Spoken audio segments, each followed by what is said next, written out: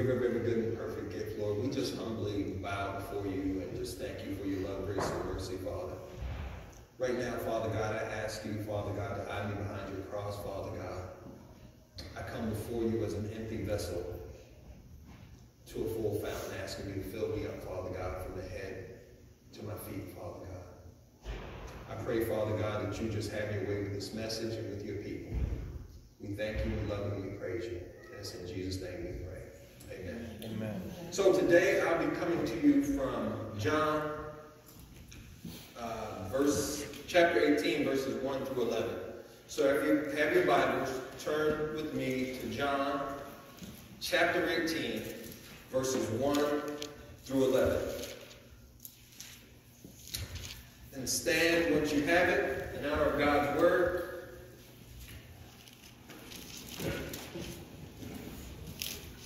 And this is what the Word of God says. Having spoken these words, Jesus went out with his disciples over the stream Kidron, where there was a garden. He and his disciples entered into it. And Judas, who betrayed him, also knew the place. Mm. For Jesus oftentimes went there with his disciples. Then Judas, having received the band of officers from the chief priests and Pharisees, came there with lanterns and torches and weapons. Then Jesus, knowing all things were coming upon him, went out and said to them, Whom do you seek? Hmm. They answered him, Jesus of Nazareth. Jesus said to them, I am. And Judas, who betrayed him, also stood with them. And then, as soon as he had said to them, I am, they went backwards and fell to the ground. Yes, Lord. Then he asked them again, Whom do you seek? And they said, Jesus of Nazareth. Jesus answered and said, I told you that I am. Therefore, if you seek me, let these go away, that the word might be fulfilled, which he spoke of those whom he was giving to me. I have lost, excuse me, I have lost not one of them. Then Simon Peter, having a sword, drew it and struck the high priest's servant and cut off his ear. And the servant's name was Malchus. Then Jesus said to Peter, Put up your sword into its sheath. May the Lord add a blessing to the readers and hearers of his holy word. You may be seated. Amen. And so, here's the funny thing. All week long, I had another message that I wanted to preach. I studied it, and prepared it, and was doing like I do because all week long I, I just started writing notes. You know, if you go to my house or you get in my car, you find little slips of paper where when something comes to me, I just write it down. And because the Lord just works with me that way, and then I, on a Saturday night, I put all that stuff together like I'm doing my taxes and get it all laid out in one kind of orderly fashion. But this week, it just would not work. And so I, began to be frustrated, like, Lord, I know this is a good word, and I know you want your people to know about this, but why won't it work? And then maybe about Wednesday, I just said, okay, I give. This must be something that you want me to have. And so I started to read through John 18. And then last night, as I was outside, or maybe about 6 o'clock, I was outside shoveling. And then the Lord kind of helped me understand why He wanted me in this text. Because I'm out there and I'm shoveling and I'm thinking and meditating. And He said, Why do you preach? I said, So that souls can be saved. Why else do you preach? To win the lost. Why else do you preach? He, and he reminded me, we don't just preach to those people that come into church that don't know the Lord. Because we want those souls to be saved. We want to water. We want the Lord to, to add an increase. But we also preach to the backslider, that person who was in church and, and, and maybe they've gone away but we want, like the prodigal son, for them to come running back. But you know, sometimes the message isn't for the, the people who don't know the Lord. Sometimes the people who know the Lord need to be reminded of the goodness of the Lord. Amen. He reminded me that sometimes people need to be reminded, educated, and encouraged. And so my prayer this morning is that that's what happens with this message. Is that you leave here educated, reminded, and encouraged because it seems like with everything that's going on, I don't even want to say that name anymore. I think I've said that, that mess so many times. We're talking to people in the supermarket and talking to people in the hospital and talking to people on the phone. I'm tired of saying that name. Amen. You know, I had somebody tell me one time, you know, Pastor, I don't like it when people say the name of Satan in church. I said, I, I get that, but you know, we have to stomp on Satan's head in Jesus' name. And so I'm not going to worry about saying his name in here, but I'm tired of saying that virus's name. Because I, I, I just feel that it's it's some things that are going on that are beyond our pay grade, and we're worried about things that we can't handle, and we need to take it to the source who can handle all of our problems.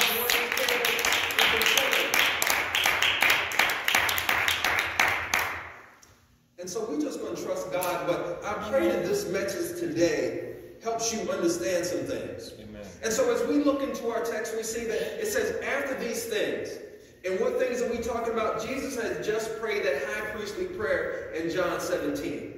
He's defeated any doubt that could have possibly rose up in him in the Garden of Gethsemane. And now he stands ready to face the cross. So he and his disciples go to that place that they often went. And it says that it's a place that even Judas knew. So they go there. And it's interesting to me that someone could possibly try and say, well, Jesus was, Judas had to find Jesus. Jesus went to a place that was commonly known. And I'm not going to talk about it much, but I've had friends that have been avoiding the authorities. We'll just put it like that. and when they were avoiding the authorities for whatever reason, they didn't go to places people commonly went.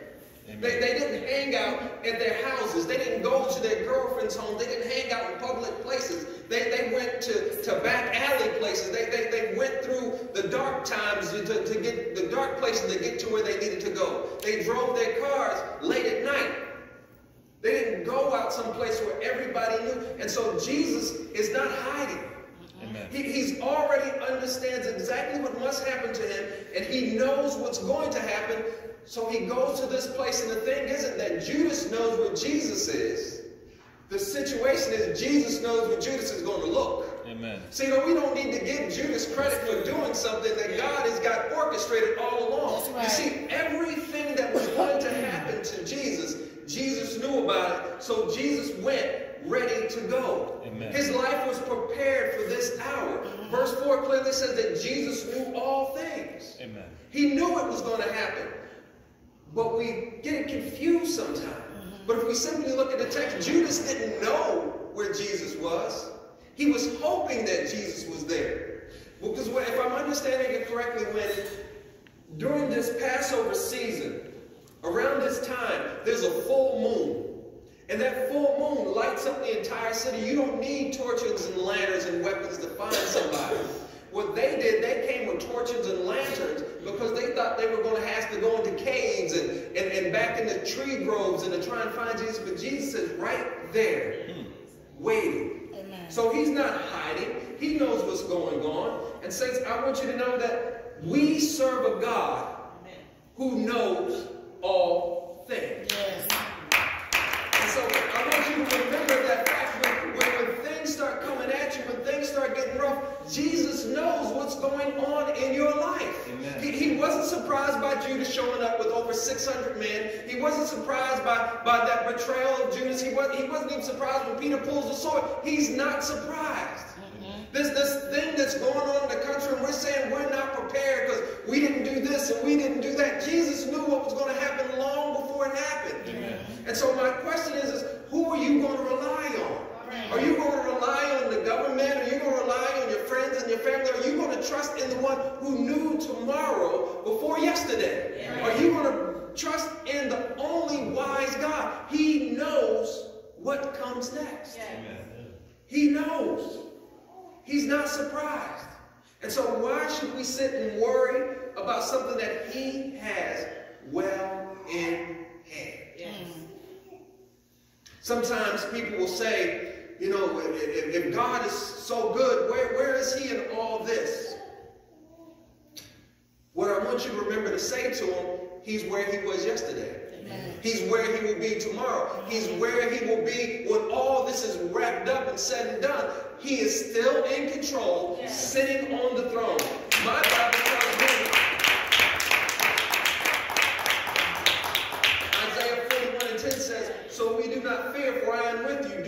dismayed, for I am your God. Yes. I will strengthen you and helping you. I will uphold you with my righteous right hand. Luke 12 says, Do not worry about your life or what you will eat, or about your body, or what you will wear. Life is more than food, and the body more than clothes. Consider the ravens. They do not sow nor reap. They do not store food or barns. Yes. Yet God feeds them. And how much more valuable are you than the birds? Yes. He's got you. Psalms 27 and 1 says, The Lord is my light and my salvation. Yes. Whom shall I fear? The Lord is my stronghold of my life. Whom shall I be afraid? Yes. There is no time for Christians to fear. This is the time for us to be what God has called us to be. We, we, we need to understand that we plug into a power source that isn't controlled by gas, light, and electric. We have a power source that i- i- is never ending. We have the Holy Spirit down deep inside of us. And when things begin to get bleak and when things begin to get scary and, and, and things begin to darken, we are the light that needs to shine through. We need to understand who Jesus is. Amen. But Jesus is not only all knowing, you need to be educated that Jesus is all powerful. Yes. You see, so Jesus knowing that they're looking for him. A- As I'm playing this out in my mind, I can just imagine Jesus having a little bit of swagger. And so as this, now picture this scene, this isn't 20, 30, or 40 people. They, they said that this was possibly a tenth of a legion. And so this could be up to 400 to 600 men coming to Jesus at one time.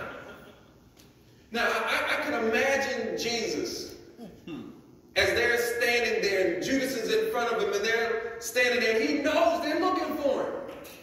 And so Jesus, whom do you seek? We seek Jesus of Nazareth.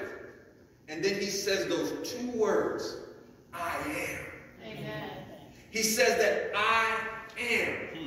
And when he says those words, they, they, they, they can't even stand on their feet. He knocks them back with the sheer power mm. that radiates from him. I am. Yes.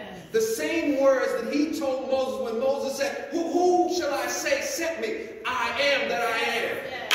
The, the, the great I am. When we think about that I am, Jesus is putting himself as the one and only God. He's making himself in allegiance with God. He's making himself God. So people would say, well, no, Jesus never said he is God. When he said that right there, anybody who understood scripture knew that he was saying that I am God.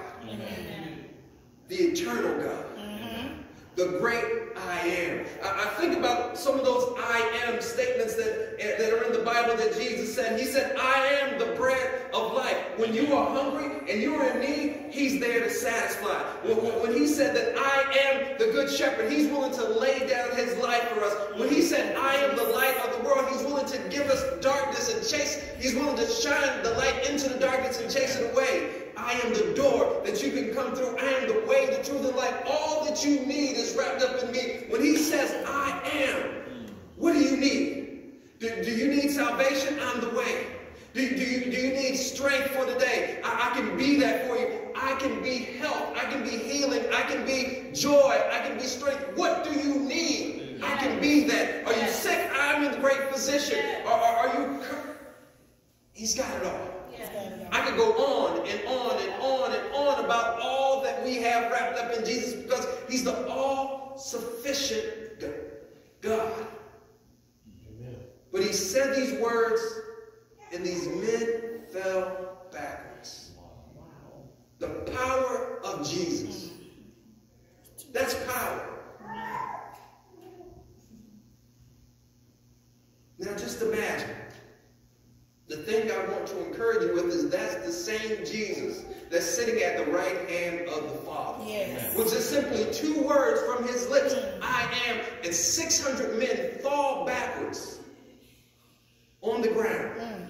He's the same God who can speak to the storm and say, Be still. He's the same God that can speak to the storms in your life. Amen. Maybe your husband's not right. Maybe your wife isn't right. Maybe your kids aren't right. Maybe just the world just seems like it's going all crazy right now and you don't know where to turn and what to do. You can just simply go to the great I am. Amen. And you can hear him say those words, Peace be still. Yes. Hmm. Do you trust him? Amen. He's got the power. I think of one of the things Deacon Rio Man said the other day when he was preaching. He said, At the name of Jesus, demons tremble. I think of the song Renee, the praise singer was singing, said the darkness trembles when Jesus just simply walks in. The light of the world comes in and, and things just have to change. Yes. The question I have for you is, are you taking Jesus into all this turmoil? Are you taking Jesus with you when you walk into the supermarket? Are you taking Jesus with you when you go to your job? Are you taking Jesus with you when you're talking to these people and they seem like they just are completely out of control? Mm. Don't sit there and try and rationalize with somebody who doesn't have a rational mind. Amen. Because if you if, if you want to be 100% honest, having people buy all the toilet paper in Walmart and then you ask them why they bought it and they say, well, the person next to me bought it. That is not a rational mind. It isn't. Now, I'll be honest with you, I got a few rolls. But I didn't get it because I was panicking because I, I thought the world was in it. I was going to wrap myself in toilet paper and hide in the basement. Maybe that's what they're going to do. I got it because we need toilet paper. So, but I'm prepared. But don't take trying to rationalize with somebody who doesn't have a rational mind. You take Jesus in that situation, and when things start to spin and things start to go out of control, you start to pray. Mm-hmm. You don't have to even try and interject anything into the conversation. You just sit there, fold your hands, and pray. Amen. Let that power that is within you, let the Holy Spirit begin to rise in you, and He'll let you see what you need to see in that room. He'll give you words to say in that room. Let God be God. Amen. That power. Over 600 men hmm. knocked down with just the word. Now, now, can you imagine Jesus? Now, Jesus has got some swagger. He, he, he, he's got it. He, he's, he walks up to him and he knows what's about to happen and he says, I am. Now, he's got 11 more friends with him. They don't got the same kind of swagger. Now, they trust Jesus, but they're looking out at these numbers. Now, can you imagine? You, you, you bad when it's 11 of y'all and it's 11 of them. like, we got this. But then you look up and there's 600 mm. soldiers. Not just regular everyday people, but these are 600 trained armed soldiers. And I'm imagining in the disciples' minds, they were thinking, you know, he's, he's walked on water, he's done all this stuff, and he's disappeared. Hopefully he takes us with us this time. Maybe they were thinking that this was it. Maybe they were thinking that they were outnumbered. Maybe they were thinking that, that, that Jesus had, had was overmatched. Here's the thing that I want you to know. Jesus is never outnumbered. He's never outmatched. He, he's never at a disadvantage. What he says will come to pass and he's able to do That's all right. things. That's right. My God is able to do far more than I could ever think or imagine. Mm. Amen. That's the God that we serve. And so now, as they dust themselves off and they, they stand up to their stand to their feet and they come back and Jesus said again, now who are you looking for? And I'm imagining all the bass is out of their voice. Now they're coming and they're saying Jesus of Nazareth with just a little bit more respect. Mm-hmm. They're, they're not saying it as if they're going to take him. Now they're just saying it, Lord, as if you would just simply come with us. And Jesus again said, I am he. I'm the one you're looking for. But what you need to do is you need to let these go. Something I want you to remember is that this all-knowing, all-powerful God was concerned about the people that followed him. He didn't just say, well, I'm good and you just do what you want to do with it. He was there to protect them. Mm-hmm. That's one of the things that gives me comfort so many times. And if you've ever talked to me about it, I think I say it all the time. I trust in the fact that God knows all of everything. Amen. I know the fact that God is all powerful.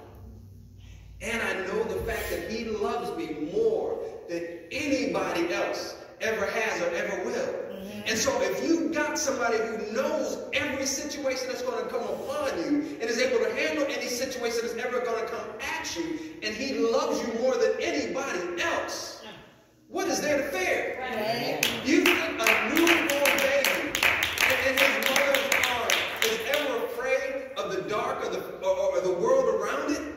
They know because that mother would give their life for that child. And Jesus has already proven that he loves you more than life itself by going to the cross for you. He loves you. So don't be afraid. There's no need to worry. There's no need to doubt because here's the thing.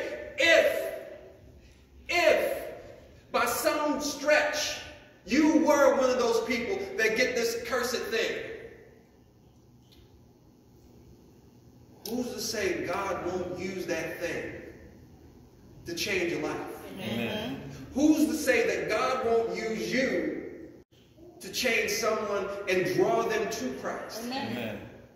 How many people go to a hospital bed and they've got cancer or, or, some type of illness and some type of situation in their body and they're dealing with an atheist doctor or they're dealing with an unbelieving nurse. And as they're coming in there and they're ministering and they're talking and they're doing all this stuff with the medicine and they begin to notice that the person is getting getting better and better but they don't know what medicine is making them better. And, and, then they begin to say well I don't know what it is or how can they get there? And, and then before you can even explain it to them you can just help them to see it's Jesus. Amen.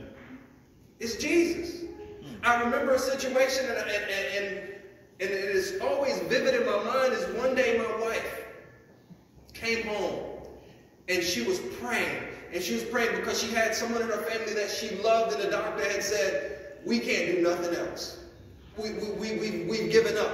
We're, we're just going to kind of, you know, maybe just do some things to make her comfortable. Hmm. And I remember, because we had Michael in and Jakari, and she said, I just need to pray.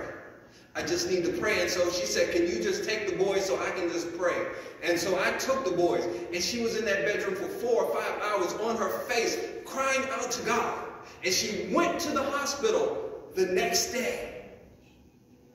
The doctors haven't changed, the nurses haven't changed, the medication hasn't changed.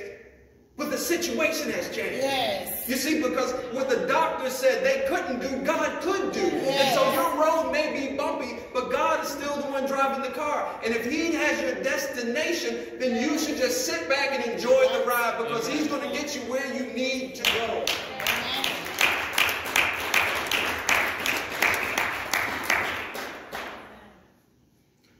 But sometimes we're like Peter. Mm-hmm. Jesus got this situation in control. He's got it. But while Jesus is saying what he's saying and the people are getting ready, Peter goes up under his jacket and he pulls out a shank. And so, why did Peter do that? Well, this is what he did.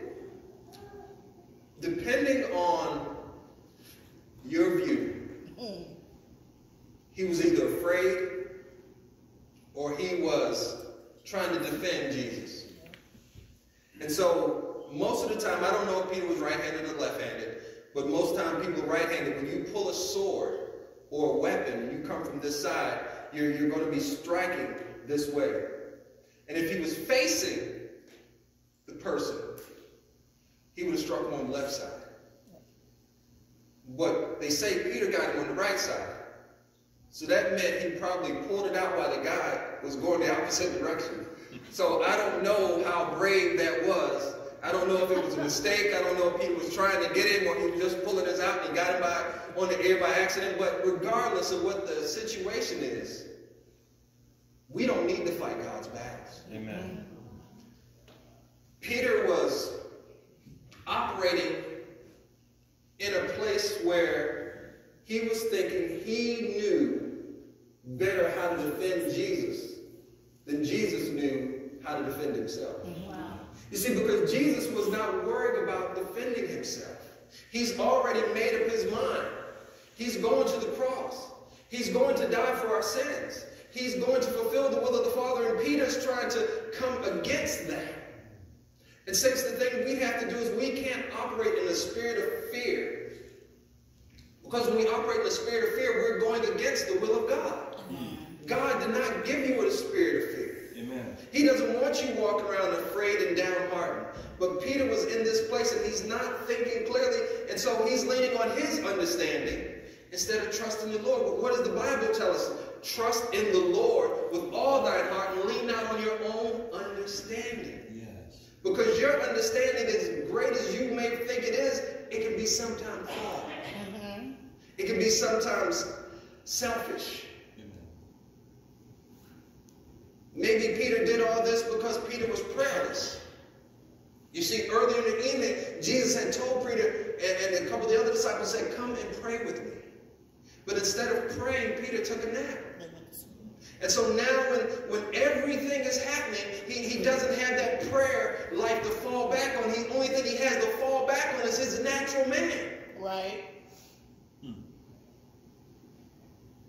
I teach a class over at the hospital with Camille, and one of the things we talk about is that everybody has this thing called fight or flight.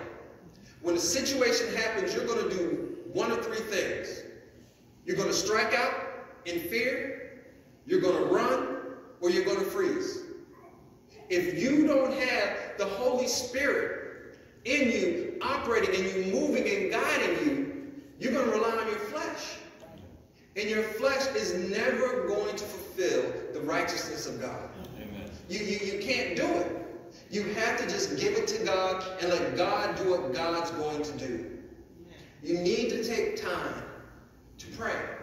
That's one of the reasons why I want us to do this, this, this praying at 12 o'clock for 40 days is because it says it takes 30 days to develop a habit. I want it to be a habit with you. And, and, and you may say, well, that, that's not a good way for us to pray.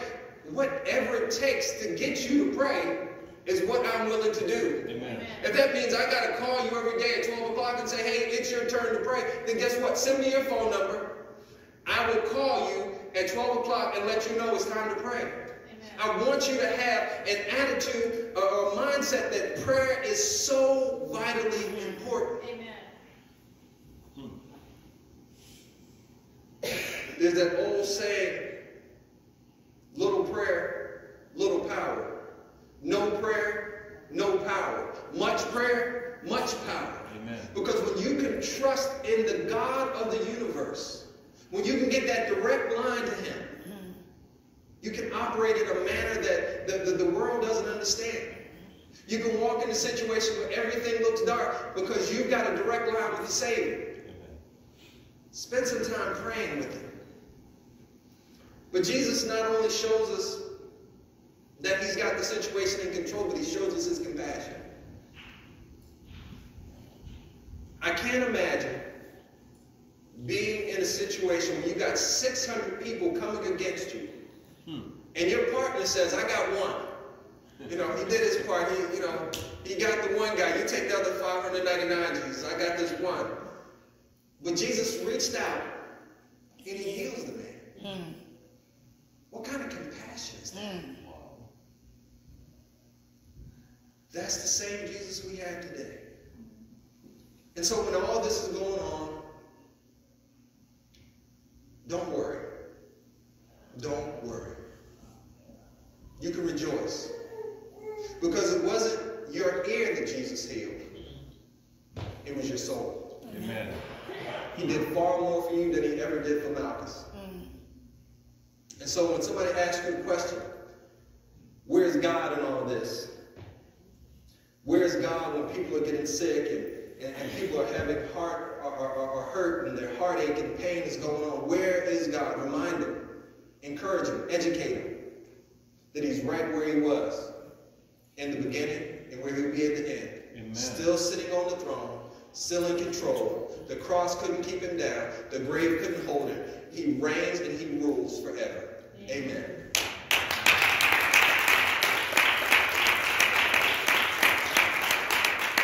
Heavenly Merciful Father, the giver of every good and perfect gift, Lord, we just humbly bow before you, Father God, yet again, just to thank you for this day, Lord. We know, Father God, that we're few in number today, Father God, but we know that you are still mighty, Lord. We know, Father God, that you can take two or three people and you can do a wondrous thing, Father God. So Yes, we pray, Lord. That you begin to uh, operate and move in the people in this nation, in this city, in this church, Father God, and help them that are afraid, Father God, to, to, to have that fear cast out, Father God. It says that perfect love casts out fear, Father God. And, and when they have you, Father God, they can have perfect love, Father Lord. I, I pray, Father God, for those that are actually feeling ill today, Father God, that you just begin to heal and move their bodies, Father God. I pray, Father God, that you sweep through the hospital, Father God, and you just touch those that are in those beds. Touch the doctors, touch the nurses, Father God. Touch the entire staff, Lord. I pray that you be with them, Lord. I ask you to just help us to be uh, reflections of your light in this world. When the opportunity rises, Father God, that we don't speak fear or doubt, that we speak victory and joy, Lord. Put your word in our mouth, Father God. Put a song in our heart. Put a spring in our step, Father God, and, and courage to do the things that you call us to do. And so we thank you, we love you, and we praise you. And it's in your Son, Jesus the Christ, name we pray. Amen. Amen. And I believe we're all family, but I'll still extend the invitation. If there's somebody here today who doesn't know Jesus and the pardon of their sins, and they want to know Jesus, the doors of the church are open. Maybe you're here today and you want to come back home. Does anybody need to pray the prayer of rededication? Or maybe you're just here today and you just need somebody to pray with you. Maybe your money's not right, maybe the relationship's not right, maybe your kids aren't right, maybe you're not right. And you just need somebody to stand in agreement with. Bible says when two or three are gathered, there am I in the midst. And so take this opportunity to lay your burdens at the cross. Don't take them home with you. Take them here and take them to the altar and leave them there. The prayer team is assembled. If you want prayer, come on down.